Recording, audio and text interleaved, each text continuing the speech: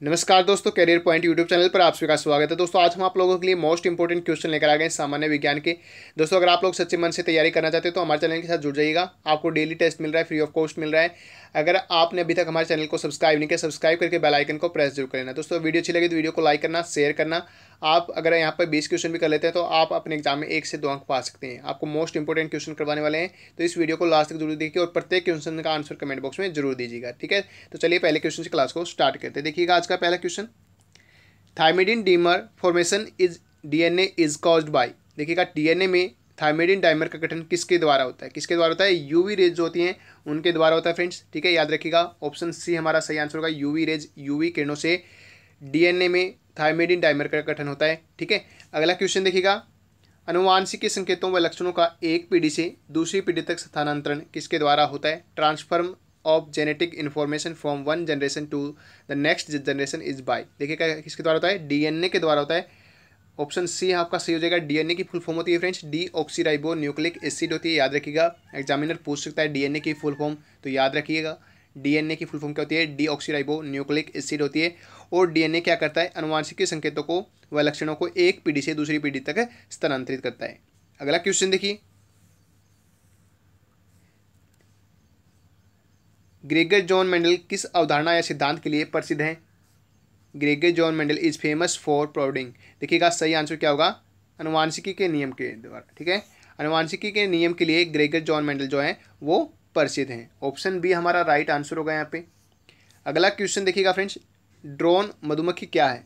Drone मधुमक्खी क्या है? इज़, इसका सही आंसर क्या होगा? क्या है? जननसम नर। ऑप्शन ए आपका सही आंसर होगा। मोस्ट इंपॉर्टेंट क्वेश्चन है फ्रेंड्स एग्ज़ाम कई बार पूछा गया है। देखिएगा ड्रोन मधुमक्खी क्या है? जननसम नर है। ऑप्शन ए आपका सही आंसर होगा। चलिए, अगला क्वेश्चन देखते हैं। प्रकाश संश्लेषण में पहला चरण है।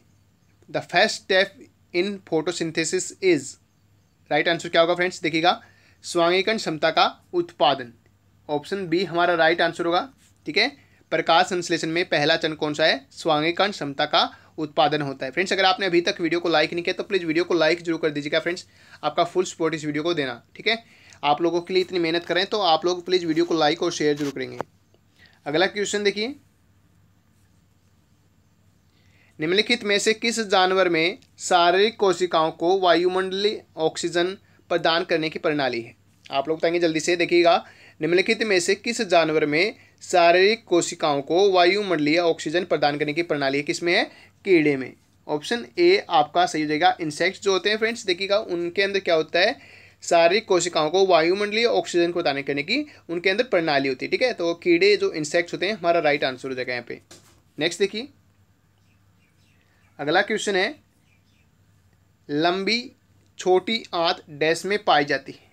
लंबी छोटी आंत डैश में पाई जाती है, किसमें पाई जाती है? हर्बी वोर्स में पाई जाती है, ठीक है? तो ऑप्शन बी हमारा राइट आंसर होगा हर्बी वोर्स लंबी छोटी आंत जो होती हैं, वो हर्बी वोर्स के अंदर पाई जाती हैं, याद रखिए इंपॉर्टेंट क्वेश्चन है। नेक्स्ट देखिए ग्लूकोज के विभाजन का पहला चरण होता है। ग्लूकोज के विभाजन का पहला चरण कौन सा होता है फ्रेंड्स एग्ज़ाम के अंदर इंपॉर्टेंट क्वेश्चन है ये।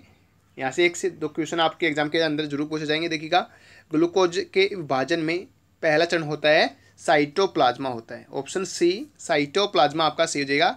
The first step of break down of glucose take place in cytoplasm ठीक है? तो ऑप्शन सी हमारा राइट आंसर हो जाएगा यहाँ पे। नेक्स्ट देखिए। अगला क्वेश्चन है। कोशिका द्वारा संकेंद्रीय प्रणवता के विरुद्ध जल के अंत्यघन की परिघटना ऊर्जा हाउस को निम्न के रूप में जाना जाता है। किस रूप में जाना जाता है? सक्रिय अवशोषण के रूप में जाना जाता है। याद रखिएगा ऑप्शन बी हमारा राइट आंसर होगा, सक्रिय अवशोषण, ठीक है? ऑप्शन बी सही हो जाएगा। नेक्स्ट देखिए, अगर आपने फ्रेंड्स अभी तक चैनल को सब्सक्राइब नहीं किया तो प्लीज़ चैनल को सब्सक्राइब ज़रूर कर लीजिएगा। आपकी वीडियो के नीचे रेड कलर में सब्सक्राइब लिखा होगा, उस पर क्लिक ज़रूर कर लेना। और उसके बाद में आपको बेल आइकन दिखाई देगा, उस पर भी प्रेस कर लेना, ठीक है? चलिए, अगला क्वेश्चन देखते हैं। अस्थाई विल्टिंग तब होती है जब? कब होती है? सही आंसर क्या हो देखिएगा? वाष्पोत्सर्जन जल अवशोषण से अधिक होता है, तब अस्थाई विल्डिंग होती है, ठीक है? ट्रांसफिरेशन एक्सेज वाटर अब्जॉर्प्शन तो ऑप्शन बी हमारा राइट आंसर होगा यहाँ पे। सॉरी ऑप्शन ए सही हो जाएगा। चलिए, अगला क्वेश्चन देखते हैं। गुर्दे में मूत्र के निर्माण के दौरान अधिकांश जल को रक्त में पुनः अवशोषित कर लिया जाता है। किसके द्वारा अवशोषित कर लिया जाता है? तो देखिए, सही आंसर क्या होगा? समीप हड नलिका के द्वारा। ऑप्शन ए राइट आंसर होगा। पोक्सिमल कन्वर्टेड टवल के द्वारा होता है। ठीक है तो ऑप्शन ए आपका सही हो जाएगा। नेक्स्ट देखिए। डायलिसिस अतिरिक्त निकालने के लिए उपयोग की जाने वाली प्रक्रिया है। क्या निकालने के लिए प्रक्रिया है देखिएगा। नाइट्रोजनी अपशिष्ट उत्पादों जो संचय पर जहरीला हो जाता है तो डायलिसिस उनको निकालने के लिए एक प्रक्रिया है फ्रेंड्स तो ऑप्शन डी हमारा राइट आंसर होगा डायलिसिस क्या करता है? नाइट्रोजनी अपशिष्ट होते हैं, उनको संचय पर जहरीला हो जाता है, जिनको बाहर निकालता है, ठीक है? अगला क्वेश्चन देखिए। निम्नलिखित में से कौन ने, कौन सा नेफ्रॉन द्वारा पूरी तरह से एक सामान्य मनुष्य में अवशोषित होता है?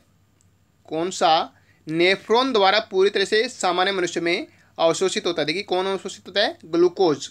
ठीक है? ऑप्शन बी आपका राइट आंसर होगा, ग्लूकोज। राइट आंसर हो जाएगा। अगला क्वेश्चन देखिए। दिल की आवाज़ सुनने के लिए इस्तेमाल किया जाने वाले यंत्र के रूप में जाना जाता है। दिल की आवाज़ सुनने के लिए इस्तेमाल किया जाने वाला यंत्र के रूप में जाना जाता है। कौन जाना जाता है? स्टेथोस्कोप जाना जाता है। ऑप्शन ए आपका सही हो जाएगा। दिल की आवाज़ सुनने के लिए स्टेथोस्कोप का प्रयोग किया जाता है। याद रखिएगा ऑप्शन ए राइट आंसर होगा। और स्टेथोस्कोप का प्रयोग कौन करते हैं फ्रेंड्स एग्जामिनर ये भी आपसे क्वेश्चन पूछ सकता है कि स्टेथोस्कोप का प्रयोग कौन करते हैं? तो कौन करते हैं? जो डॉक्टर होते हैं वही इसका प्रयोग करते हैं, ठीक है? जो हार्ट के डॉक्टर होते हैं, वे स्टेथोस्कोप का ज़्यादातर प्रयोग करते हैं। चलिए, अगला क्वेश्चन देखते हैं। पचे हुए भोजन का अवशोषण आंत्र में जिन संरचनाओं द्वारा होता है, को कहा जाता है? पचे हुए भोजन का अवशोषण आंत्र में जिन संरचनाओं द्वारा होता है, को कहा जाता है, क्या कहा जाता है? विली कहा जाता है। ऑप्शन डी आपका सही हो जाएगा, विली, राइट आंसर। ठीक है, याद रखिएगा। Absorption of digestive food take place in intestine by structure called villi ठीक है राइट आंसर क्या होगा? विली यहाँ पे सही हो जाएगा। चलिए, अगला क्वेश्चन करते हैं। पाचन के परिणाम स्वरूप प्रोटीन का अंतिम उत्पाद क्या होता है? फटाफट कमेंट करिएगा। राइट आंसर पाचन के परिणाम स्वरूप प्रोटीन का अंतिम उत्पाद क्या होता है? अमीनो एसिड होता है। ऑप्शन डी आपका सही हो जाएगा amino acid, right answer. Friends, exam के अंदर ये भी क्वेश्चन कई बार पूछा गया मोस्ट इंपोर्टेंट क्वेश्चन रहेगा आपके एग्ज़ाम के लिए। चलिए, अगला क्वेश्चन करते हैं। दूध का स्राव डैश के द्वारा होता है। किसके द्वारा होता है? फटाफट कमेंट करिएगा। दूध का स्राव डैश के द्वारा होता है। देखिए, किसके द्वारा होता है? प्रोलैक्टिन के द्वारा होता है। ऑप्शन सी सही आंसर होगा, प्रोलैक्टिन, राइट आंसर। ठीक है? किसके द्वारा होता है? प्रोलैक्टिन के द्वारा होता है, याद रखिएगा। नेक्स्ट देखिए। रक्त के ग्लूकोज स्तर को नियंत्रित किया जाता है। रक्त के ग्लूकोज स्तर को नियंत्रित किया जाता है किससे? सही आंसर होगा, इंसुलिन और ग्लूकागन किसे ऑप्शन बी आपका सही हो जाएगा। रक्त के ग्लूकोज स्तर को नियंत्रित किया जाता है, इंसुलिन और ग्लूकागन से। याद रखिएगा इंसुलिन और ग्लूकागन राइट आंसर होगा। अगला क्वेश्चन है, मानव शरीर के अंदर विभिन्न भागों के बीच समन्वय डेस्क के माध्यम से प्राप्त किया जाता है। किससे प्राप्त किया जाता है? आप लोग बताएँगे। मानव शरीर के अंदर विभिन्न भागों के बीच समन्वय डेस्क के माध्यम से प्राप्त किया जाता है। किससे किया जाता है? देखिएगा, तंत्रिका और अंतस्रावी तंत्र से प्राप्त किया जाता है, ठीक है? याद रखिएगा, मानव शरीर के अंदर विभिन्न भागों के बीच समन्वय तंत्रिका और अंतस्रावी के माध्यम से प्राप्त किया जाता है। ऑप्शन डी हमारा राइट आंसर होगा यहाँ पे। अगला क्वेश्चन देखिए। शोषण का विनियमन नियंत्रण में है। शोषण का विनियमन नियंत्रण में है। देखिएगा सही आंसर क्या होगा यहाँ पे? संयोजिक अंश। ऑप्शन डी आपका सी हो जाएगा। जिसको इंग्लिश में क्या बोलते हैं? पॉन्स कहते हैं, ठीक है? याद भी आपको पता होना चाहिए। इंग्लिश में पॉन्स भी आ सकता है। शोषण का विनियमन नियंत्रण किसके में है? संयोजक अंश में होता है। चलिए, अगला क्वेश्चन करते हैं। अर्धगोलीय परम मस्तिष्क डेस्क का केंद्र है। अर्धगोलीय परम मस्तिष्क किसका केंद्र है? आप लोग बताएँगे, देखिएगा। किसका है? समझ का केंद्र होता है। ऑप्शन ए है, हमारा राइट आंसर होगा। थिंकिंग का होता है केंद्र, ठीक है? अर्धगोली प्रमस्तिक जो होता है, वो किसका सेंटर होता है? समझ का होता है थिंकिंग का होता है, ठीक है? तो ऑप्शन ए हमारा राइट आंसर होगा। अगला क्वेश्चन देखिए। नेक्स्ट देखिएगा। Junction of two neurons is called दो न्यूरॉन्स के जंक्शन को कहा जाता है। क्या कहा जाता है? गुणसूत्रीय संयोजन कहा जाता है फ्रेंड्स ऑप्शन ए आपका राइट आंसर होगा। गुणसूत्रीय संयोजन कहा जाता है दो न्यूरॉन्स के जंक्शन को, ठीक है? मोस्ट इंपॉर्टेंट क्वेश्चन है, याद रखिएगा। नेक्स्ट देखिए। अगला क्वेश्चन है, निम्नलिखित में से प्रमुख ऑटोजोमल रोग कौन सा है? आप लोग बताएँगे, निम्नलिखित में से प्रमुख ऑटोजोमल रोग कौन सा है? कौन सा है? एल्जाइमर रोग होता है। ऑप्शन डी एल्जाइमर आपका राइट आंसर होगा। नेक्स्ट देखिए। प्रकाश संश्लेषण के दौरान जल के विभाजन के रूप में जाना जाता है। Splitting of water during photosynthesis is known as right answer क्या होगा?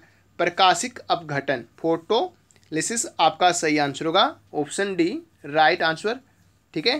प्रकाश संश्लेषण के दौरान जल के विभाजन के रूप में जाना जाता है प्रकाशिक अपघटन को। नेक्स्ट देखिए और आज का आखिरी क्वेश्चन